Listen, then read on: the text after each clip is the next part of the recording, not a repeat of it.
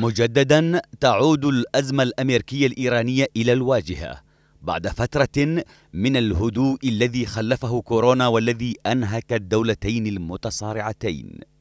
إيران ورغم ما تمر به من أزمة اقتصادية حادة ترافقها أزمة صحية إلا أنها تبدأ بتصعيد التوتر من جديد من خلال التحرش بالسفن الأمريكية في مياه الخليج في محاولة منها لإثبات وجودها في المنطقة. هذه التهديدات تأتي من أجل الضغط على أمريكا بشكل عام ومن أجل الضغط على المجتمع الدولي والعالمي من أجل التخفيف عن الحصار على إيران من التخفيف عن التخفيف عن تقوية تحجيم الدوري الإيراني.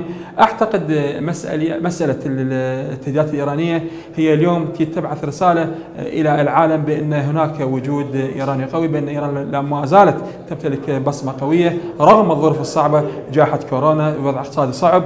وبالتالي إحنا ربما سوف نشهد في الأيام المقبلة أو الأسابيع المقبلة تهديد أو تصعيد من جانب آخر. ربما نشهد هناك راح سوف يكون ربما يكون عمل عسكري يعني هنا وهناك. وعلى الرغم من أن ذلك الصراع يوتر أجواء المنطقة كاملة غير أن العراق هو الأكثر تضررا من ذلك كونه حليفا قويا للطرفين المتصارعين.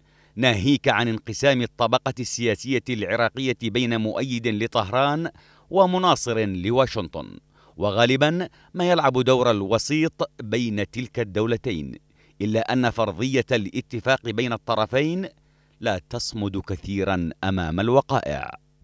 هذا التأزيم هو ليس بمصلحة المنطقة. نحتاج إلى تهدئة. نحتاج أن يكون هنالك لاعب حقيقي في هذه الساحة يقرب وجهات النظر ما بين الفريقين المتخاصمين في هذه المنطقة. هل غيرت جائحة كورونا الموازين في المنطقة ودفعت إيران إلى الشعور بأنها الأقوى من خلال تحديها للولايات المتحدة رغم أنها مكتفة بأزماتها الداخلية؟